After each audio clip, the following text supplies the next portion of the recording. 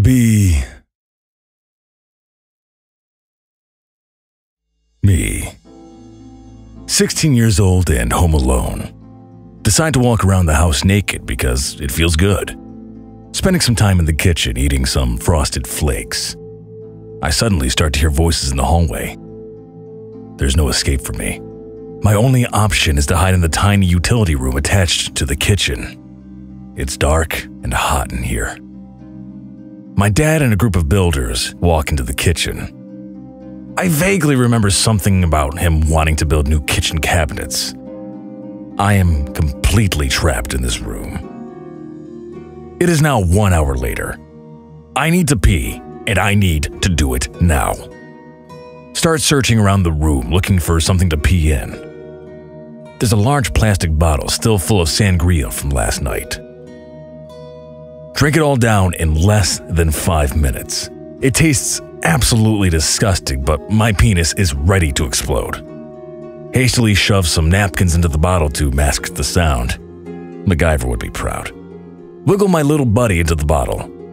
The friction from the bottle wakes the little guy up a bit. Finally pee.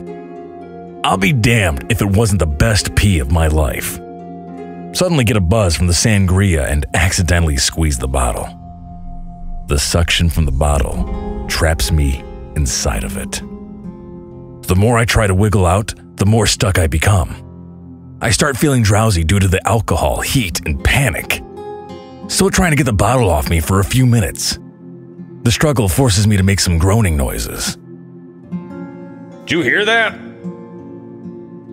Oh god, no. The door swings open and I'm greeted by five builders. They're all looking at a drunk, naked kid with a bottle attached to his penis. What the fuck? They all shout. I'm frozen from embarrassment and from being drunk. Two of them go looking for my dad while yelling that he's a kidnapper. I hear my dad scream. What the hell are you talking about? The face of my dad staring at me is an image I will never forget. That's my son, you idiots. All I can mumble out is, I'll explain later.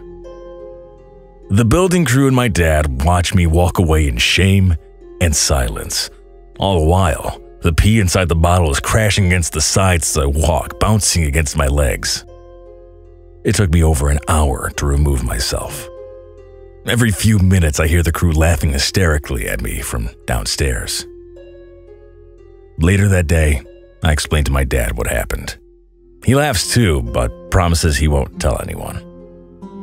Now, every Christmas, when my dad gets slightly drunk, he calls me Bottleneck Brett in front of the family with a big grin on his face. The rest of the family spends hours trying to guess what that means, but he still hasn't told anyone.